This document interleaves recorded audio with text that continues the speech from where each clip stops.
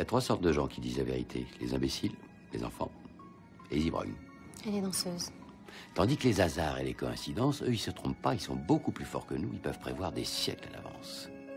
Hasard ou coïncidence, Byzance ou Trafalgar, Mozart ou l'innocence, ignorance ou brouillard, tintamarre ou nuisance, obédience ou beaux-arts, victoire ou suffisance, l'apparence ou l'histoire, faux départ ou balance, déférence ou beau pas, avoir ou dépendance, abondance ou dollar, un écart ou l'errance, turbulence ou bazar, paillardise ou licence, jouissance ou bande à part.